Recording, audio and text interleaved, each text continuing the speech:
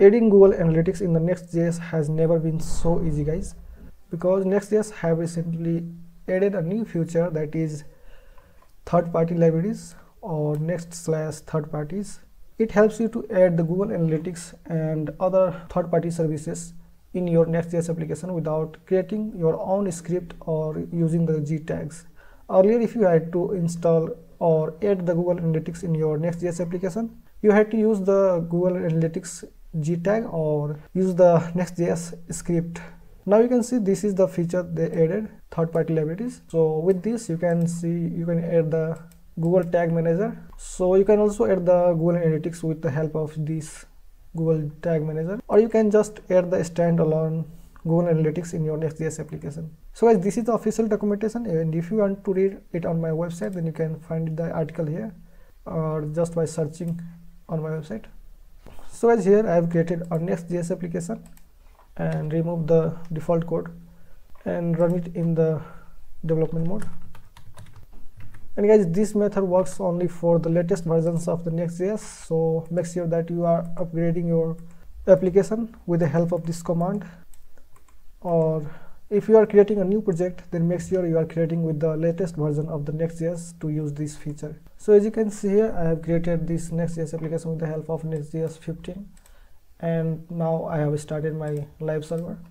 And guys the next step is to get the google analytics id that is gid that looks like something like this which start from G. To get a Google Analytics code you have to create a new Google Analytics account analytics.google.com and guys after coming to this website you can create a new account and create a new property by adding your website URL and after that you can get the Google Analytics code and that looks something like this.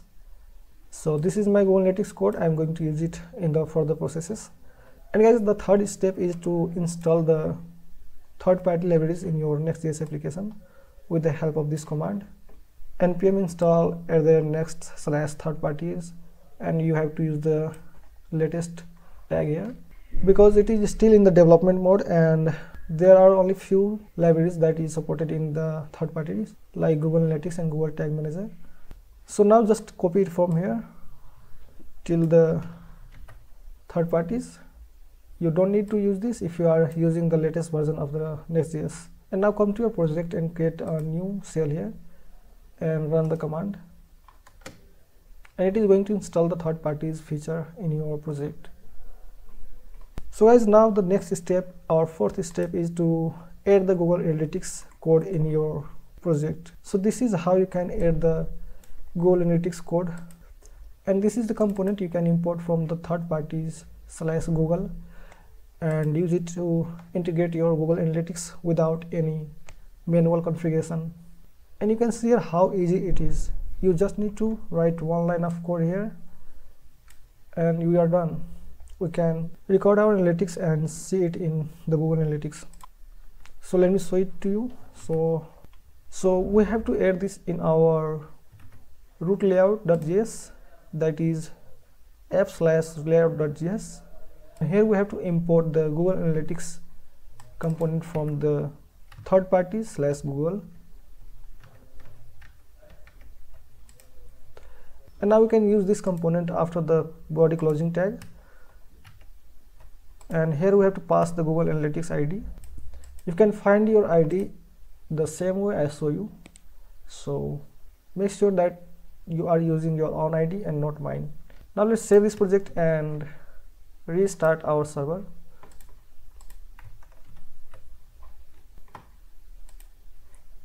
so guys as you can see here my website has loaded and and guys if you inspect this website then you can see a script here that is for the google tag manager which helps us to add the google analytics.